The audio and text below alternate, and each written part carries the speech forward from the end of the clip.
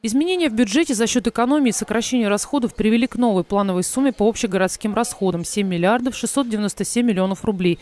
Передвижки в сторону увеличения или уменьшения финансирования коснулись разных ведомств – от Департамента градостроительства до Департамента образования. Увеличиваются расходы в 2019 году на 5 миллионов 960 тысяч 500 рублей. За счет э, денежных средств Газнефтегаза перераспределяется 6 миллионов 969 тысяч 500 рублей.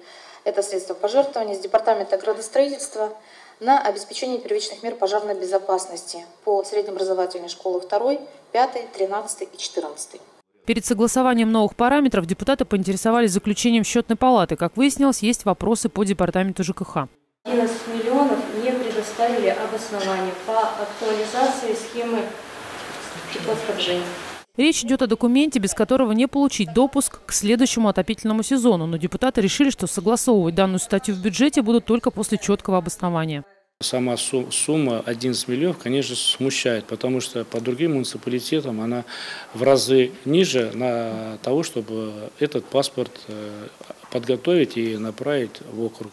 Также на комиссии прозвучал отчет о реализации 15 муниципальных программ. В целом они исполнены на 78,5%. Директор Департамента экономического развития дала пояснения по каждой. В итоге за этот и другие вопросы повестки депутаты проголосовали утвердительно. Наталья Платонова, Рамиль Аскаров, телерадиокомпания «Юганск».